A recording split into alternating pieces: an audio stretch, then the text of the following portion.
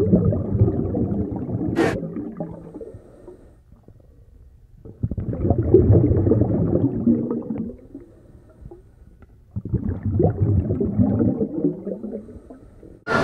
question is, do fish sleep?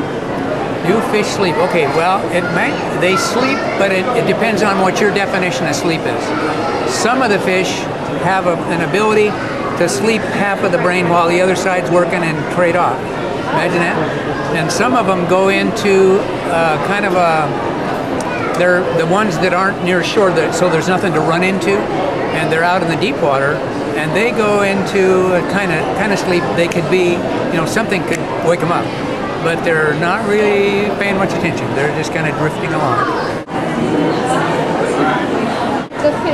That are vertical in the water and they're just kind of swaying back and forth, are they in that kind of semi-sleep state? That's a different thing there. There are some kinds of fish, mainly the ones you'll see here doing that, are called rockfish. Yes. and they don't chase food.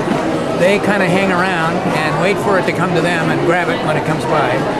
Uh, So some of them, resting. yeah, sort of resting, but they're they're watching what's going on when they're doing that too. Some of them look very much like the kelp, and you'll see them right in there next to the blades of the kelp, looking like it's kelp.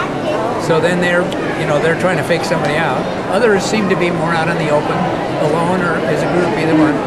And uh, they're, I wouldn't call that sleep. I'd call that uh, a little trick to Yeah. huh. and others that we have in that same tank there do chase things and, and eat them, while others are just waiting for it to come to them.